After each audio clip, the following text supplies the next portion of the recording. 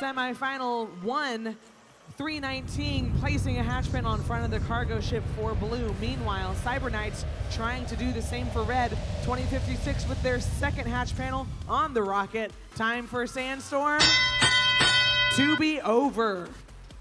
These alliances are neck and neck. This is a tiebreaker. First match went to blue, second match went to red. Each of them want to move on to the finals.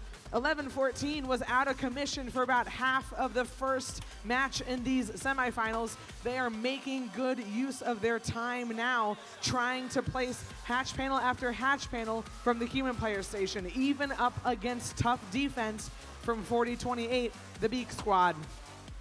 2056, placing a hat, a cargo into the rocket for the Red Alliance with just over a minute and a half remaining in this match. Meanwhile, the Aluminum Falcons have already placed one, two, three hatch panels on the rocket ship, on the rocket for blue. 195 is playing defense against 319, Big Bad Bob, who has a cargo, and they're going over to place it in the rocket for blue. A minute and 10 seconds remaining in the match. These two alliances are pretty close, but Red has a distinct advantage. 4028 is trying to minimize that to prevent them from scoring more points and is playing defense on Simbotics. Unbothered by the defense, 2056 has already completed two levels of a rocket for red, and Simbotics is trying to maneuver around the Beak Squad to get another hatch panel or cargo from their human player station area. 40 seconds remaining in the match. 319 dropping off a cargo into the cargo ship for blue, even up against defense from the Cyber Knights. Meanwhile, 2168 Aluminum Falcons was able to place a hatch panel on the top level of the rocket for blue. 20 seconds remaining in the match. These teams are now headed over to their HAB levels. 11-14 Simbotics solidifying a level 3 climb right out of the gate with 10 seconds remaining. 40-28 trying to do the same for blue.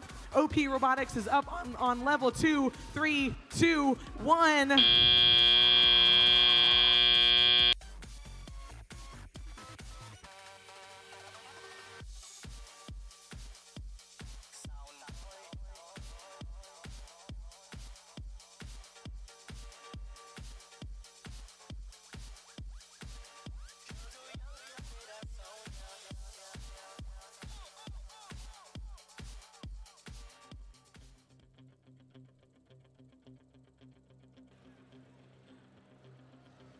We have a score for our semi-final one tiebreaker.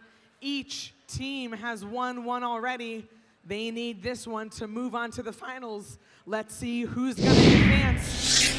It's the Red Alliance with a score of 112 to the Blue Alliance's 97. That's the number one alliance coming out ahead of the number five alliance. Let's give a huge round of applause for our number five alliance. Give it up for 2168, 4028, 319, and 111 for an impressive showing here at IRI.